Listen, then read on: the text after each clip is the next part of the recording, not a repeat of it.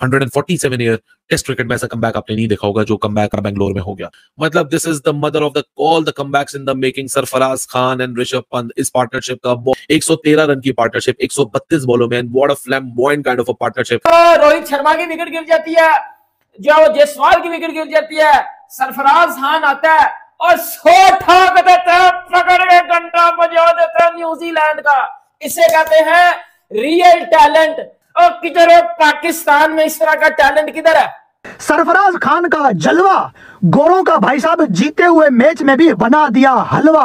पहले सौ भी हो गया और अब सवा सौ पे वो खड़ा हुआ है। और भाईजान उस बंदे में डोमेस्टिक में भी इतने सालों से जो थोड़ी खबरें आती हैं तो उसी की आती हैं। जी 200 कर दिया 250 कर दिया 150 कर दिया 100 कर दिया 200 कर दिया। तो उस बंदे में एक खास चीज़ है खास चीज़ है तो that's why they are he is there और रगड़ के रख दिया आउट क्लास कर दिया। सरफराज खान धोखा नहीं देगा इससे शानदार इससे जानदार, इससे खौफनाक, बैटिंग आप अपनी ज़िंदगी में। शायद मैं कहता हूँ मेरा ओपन चैलेंज है। मुझ पे फतवा लगा दें, मुझे बाइस कह दें, जो मर्ज़ी कहें मोहसिन साहब, तीन सौ छप्पन का डेफिसिट दे के साठ चालीस कोई नहीं कहेगा और कोई नहीं टीम वापस आ सकती। तो यार तीन सौ छप्पन की लीड उतारना और फिर टारगेट देना ये हालाजी का वाड़ा नहीं होता। ये सरफराज खान जैसा टैलेंट फिर हो तो आप ये चीज़ें पॉसिबल करते हो। टैलेंट यार इंडिया के पास टैलेंट कहाँ से आ रहा है? टी ट्वेंटी देख लो वनडे देख लो टेस्ट देख लो तीनों फॉर्मेट में इंडिया के पास टैलेंट भाई साहब भरा पड़ा है। सरफराज खान इसने कहा मैं सरफराज हूँ मैं धोखा नहीं दूँगा। लेकिन जिस तरीके की बैटिंग सरफराज और कोहली ने की और सरफराज और की पंत ने मोहसिन भाई it look very easy at the end यार कितना कंफर्टेबली इन्होंने कर लिया है। दो छक्के जो मारे सीधे गुब्बारा बना के वो भी सो मेरे ख्याल से ये कहना गलत नहीं होगा।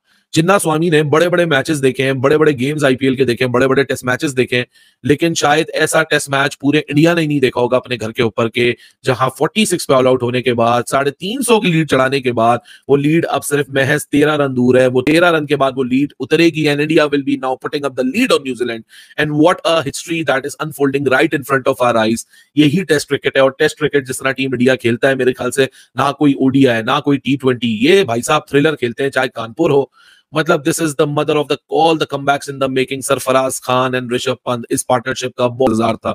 113 रन की पार्टनरशिप 132 बॉलों में what a flamboyant kind of a partnership भाई साहब, उन्होंने डेढ़ दिन के अंदर आपको बता दिया 46 ऑल आउट कभी कभार ऑफ़िस में आपका भी बुरा दिन होता है, जिस तरह रोहित शर्मा ने बोला, उस तरह उस दिन हमारा भी बुरा दिन था, निकल गया, लेकिन ये आपको गारंटी देंगे कि दोबारा नहीं होगा। और दोबारा वाकई नहीं हुआ।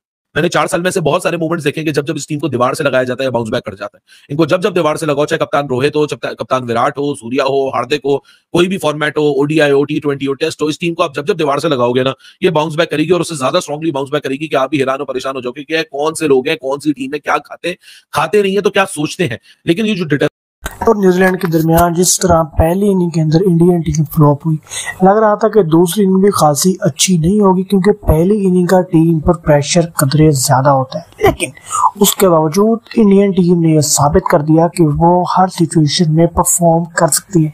सरफराज खान ऋषभ पंत की जो पार्टनरशिप चली है, उस पार्टनरशिप ने बड़े बड़े रिकॉर्ड तोड़ दिए इतनी बड़ी पार्टनरशिप नहीं थी, लेकिन उसके बावजूद इस सिचुएशन में इतनी बड़ी पार्टनरशिप करना कोई आम बात नहीं है।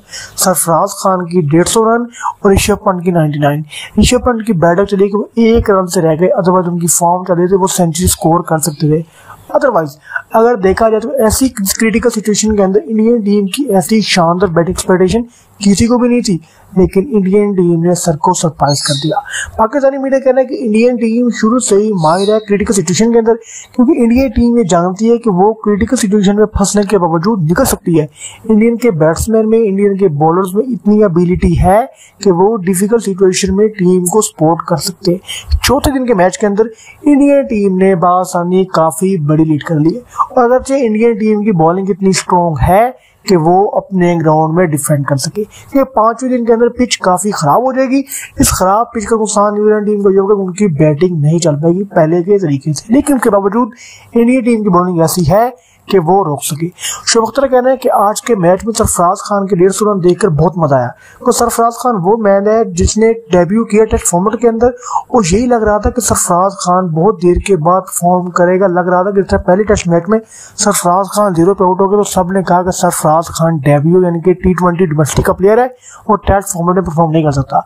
लेकिन दूसरी इनिंग के अंदर उसने साबित कर दिया कि east and west Sarfaraz Khan तो करते सारी लुढ़क जाना था। क्योंकि अपने रन और इंडिया ने ऐसा कमाल का काम किया है। छियालीस पे आउट होने वाली टीम न्यूजीलैंड के तीन सौ छप्पन रन जो ऊपर लीड चढ़ी हुई थी, तीन विकेटें गिरी हैं और वो उन्होंने ऑलमोस्ट सारी की सारी उतार दी है। और 46 पे आउट करने के बाद भी New Zealand they are far behind Sarfaraz ने खेलना शुरू किया है। तो कहीं ना कहीं शॉर्ट्स आना शुरू हो गए। तो उसमें जो कॉन्फिडेंस झलक रहा था, वो दिखा। और ये कॉन्फिडेंस ऐसे नहीं आता। भाई, आप किसी लेवल पे अच्छा परफॉर्म करते हुए आ रहे हो इतने सालों से तो तभी आके कॉन्फिडेंस आता है ना। पहले सौ भी हो गया और अब सवा सौ पे वो खड़ा हुआ है। और भाईजान, उस बंदे में डोमेस्टिक में भी इतने सालों से जो थोड़ी खबरें आती हैं तो उसी की आती हैं। जी, दो सौ कर दिया, ढाई कर दिया, डेढ़ कर दिया, सौ कर दिया, दो सौ कर दिया। तो उस बंदे में एक खास चीज़ है खास चीज़ है तो that's why there he is there Pant भी बहुत अच्छा खेला। हालाँकि पंत आपको पता है कि बीच में जरा मसले मसाइल हो गए थे इंजरी वगैरह हुई थी, लेकिन उसके बावजूद कीपिंग में वो आया हुआ था जुरेल आया हुआ था but he was there too but main guy main guy जो जो जो मोमेंटम चाहिए था ना, और जो जो बॉडी लैंग्वेज चाहिए थी, और जिस तरीके से काउंटर अटैक करना चाहिए था न्यूजीलैंड को, वो तो यार कट जाता है इस लड़के को, सरफराज को। इसने जिस तरीके से खेला ना, ये बहुत ही शानदार है, बहुत ही लाजवाब है।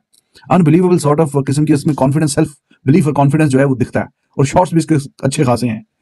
मतलब स्वीप भी अच्छे खासे खेलता है कट शॉट भी खेलता है यू नेम इट हर तरह के जो शॉट्स है वो खेलता है। तो ये है कि भाईजान, जो आपका डोमेस्टिक का परफॉर्मर है ना, जो ओवर द परफॉर्म करता आता है तो वो आपको फिर मायूस नहीं करता डिसअपॉइंट नहीं करता। तो तब ये बैटिंग करने आता सौ के नीचे का टोटल था टोटल इंडिया का, सौ के नीचे का। अभी साढ़े तीन सौ पे खड़ा हुआ है and is not out still out there ये इंडिया की टीम में एक चीज़ खास है, जो कि इनको दूसरों से बड़ा मुनफरद बनाती है।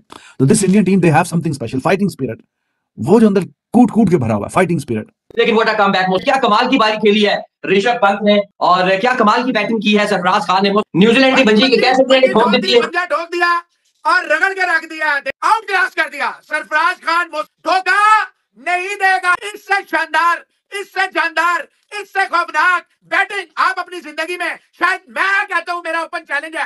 मुझ पे फतवा लगा दें मुझे बाईस कह दें। जो मर्ज़ी कहे मोहसिन साहब तीन सौ छप्पन का डेफिसिट दे के साठ चालीस कोई नहीं कहेगा और कोई नहीं टीम वापस आ सकती। वो कल से जो हम क्रिकेट देख रहे हैं this speaks volumes about where India is today, why India is being rated so highly, why it is being said next 10 years, next 10 years of domination is awaiting Team India. ये वाकई एक sweet headache है कि सरफराज खान को बिठाए तो कैसे बिठाए?